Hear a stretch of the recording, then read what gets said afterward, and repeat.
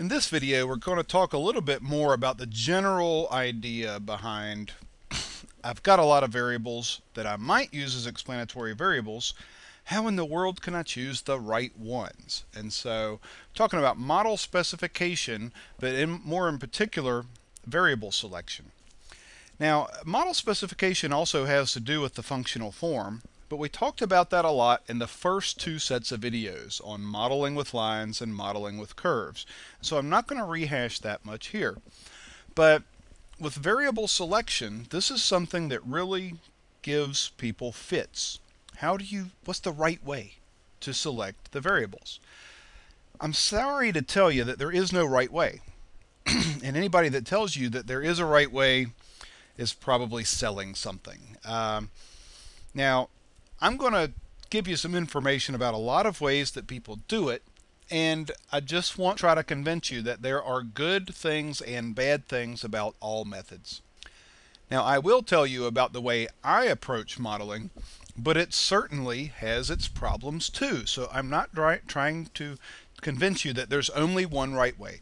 There are several good ways, uh, but there is no universal agreement among economists, or uh, there's certainly a lot more disagreement between economists and statisticians as to the right way. And within different business disciplines, marketing, management, accounting, they'll all have their favorite ways of doing things. So try to get over the, the idea that there is a right way. That does not mean that there are not wrong ways. There are some ways that are clearly bad, and I'll talk about some of those. Now, first, let me uh, tell you about a couple of people that have their followers, and rightly so. These are both really smart guys. Uh, Ed Leamer, in 1978, wrote a book called Specification Searches. And Ed Leamer, very smart guy, does a lot of commentary on this kind of uh, idea about how people do econometrics and some of the wrong things that people do. But in this book, he said that the right way to choose the variables and the functional form depends on what your goal is. And he lists different goals that somebody might have as uh, you want to do a hypothesis test to see if a particular variable is important. That's one approach. Another approach might be to take a lot of potential variables and weed it down into a simple model. Sometimes people will call that a parsimonious model. Parsimonious means stingy. You want the simplest model. You don't want to throw a lot of variables in there at once. And so he says, depending on your goal, that depends on the method.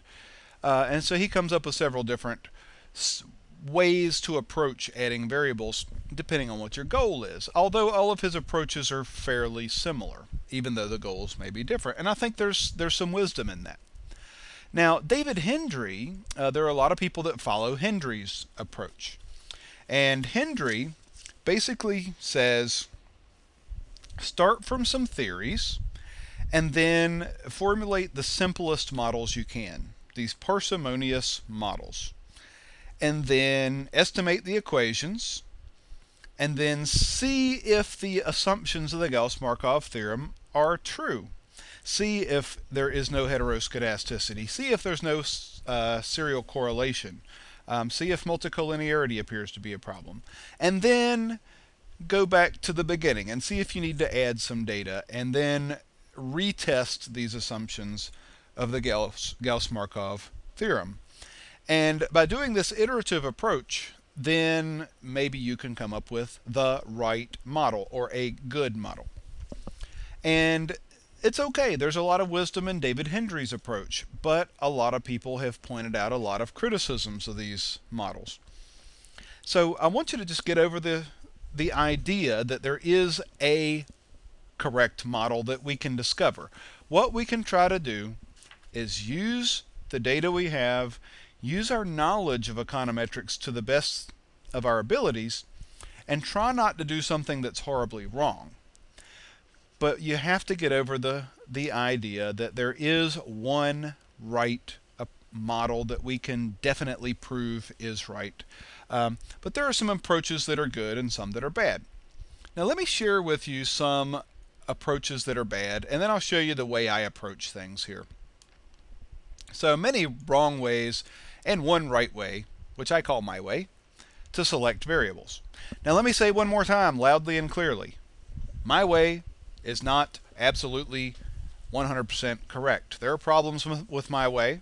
I, I say that loudly and clearly, but I'm just going to tell you my way and why I think it's good, and people can teach you their way. But how people do things just depends on how they were trained and the opinion of the people that trained them, really. Um, let me go through a couple of ways that I don't like. Uh, I don't like data, data mining. Um, data mining does have its uses. For me and the kind of work I do, I don't like it. Uh, to me, data mining is when you have a lot of data and you take the human element out of the modeling. Two common methods of doing this data mining approach are called the forward method and the backward method. Now, in the forward method, you have a hundred potential variables, perhaps. You tell the computer, there are little programs that do this. You don't do this. Get the computer to do this if you're going to do it. And the computer will run a 100 regressions, one with each of the 100 variables as one depend, one explanatory variable. And then it'll pick the one variable that makes, say, the adjusted r squared go up the most.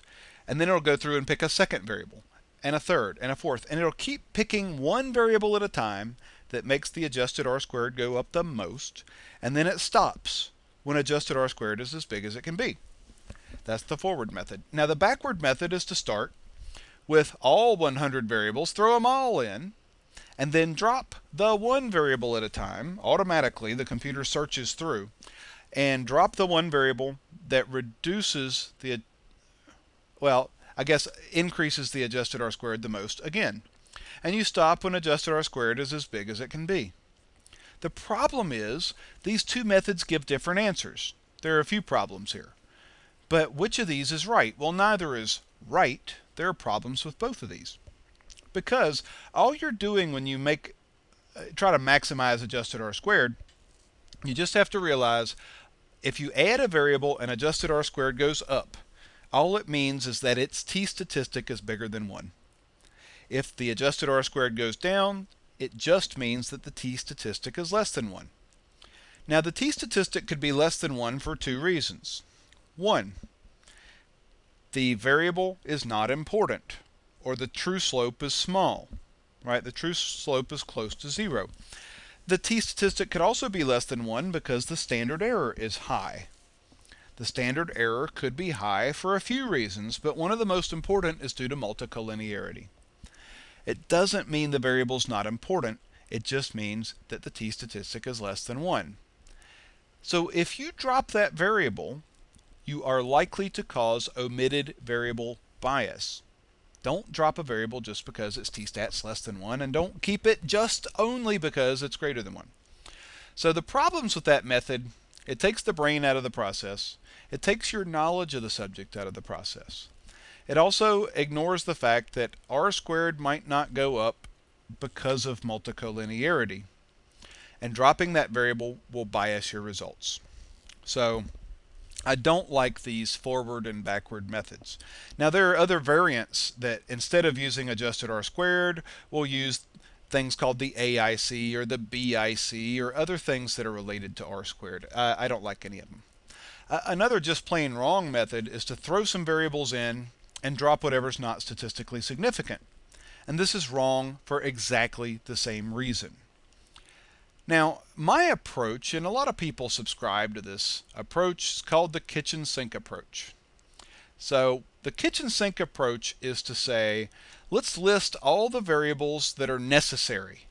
The variables that are obvious, make sense from theory, or are just plain common sense.